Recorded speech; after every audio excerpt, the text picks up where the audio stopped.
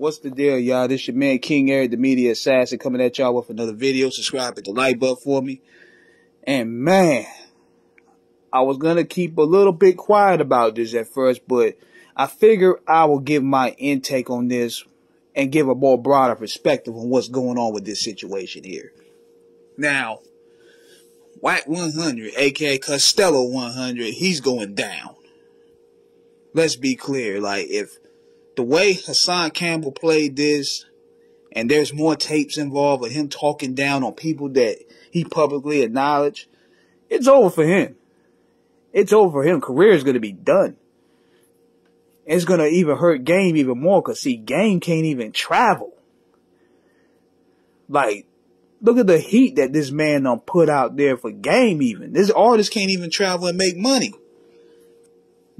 And I figure, what what is the cost of all of this? What is the cost of putting Nipsey Hussle's personal business out like that? And I'm gonna get to that in a second. But I looked at it on both ways, man. I looked at it with how this started. Hassan looked kind of slimy doing that in the first place. Like, why would you still do a podcast with this man, knowing he telling you this type of stuff about Big U and Nipsey and all these other people. Why would you still associate yourself with that type of individual, knowing he's a slime ball? That go to show you Hassan's intentions either. Like he didn't really care. He wanted a bag. So I looked at him kind of funny. And that whole ordeal of taping conversations, that's Fed like. Not defending whack, but I'm looking at Hassan's intentions first. Like, and knowing all this, and knowing that he's taking credit for allegedly blackmailing Nipsey Hussle, why would you still want to do business with this man? Now, let's go to this here. With Nipsey, with um Wack 100, see how this started. The podcast, everybody went good. Everything was good accordingly. Then it changed on Clubhouse. And then Wack started just burying Hassan like he didn't know him. I don't know you, bro. We don't do business together. But yet, your word don't mean a damn either. Because look at you, you telling, you pillow talking with this man about everybody else's personal business.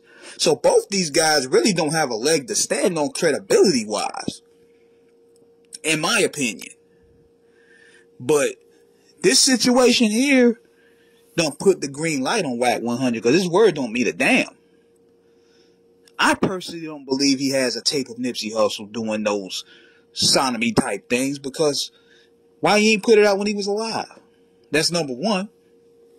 Number two, this is the same person that faked the that faked the um, Mike Tyson fight. He he staged his own fight. He lied about not knowing who Hassan really was, but yet you're gonna invite the nigga on your podcast. You're gonna do clubhouse with him. You're gonna peloton with him, but you act like you don't know him.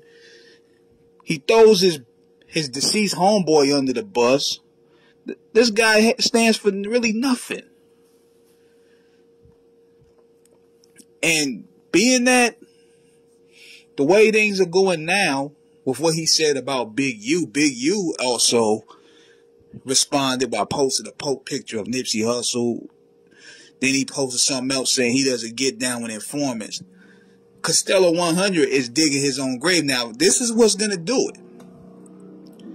If what he said, anything derogatory about Kay Slay, he's done. Because Kay Slay is a beloved individual. Kay Slay is basically the last bridge that Wack 100 really has in New York City. He's going to be food out there. The only reason why he was able to walk around and do what he do was because of Kay Slay. And vice versa. But maybe it's just me, y'all.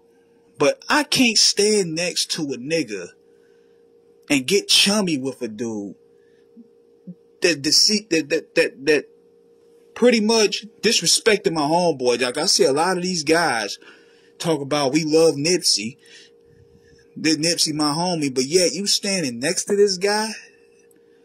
You doing podcasts with this nigga, and yet smiling and grinning and kiki and ha ha with this dude. But yet you saying Nipsey was your boy, but yet you'll kill an outsider. Something ain't ain't right with that with me. Even a prime example. I got offered to do an interview with Charleston White and I turned it down. I know it probably would have given me some clout, but being how he disrespected my man Gonzo, I can't do it.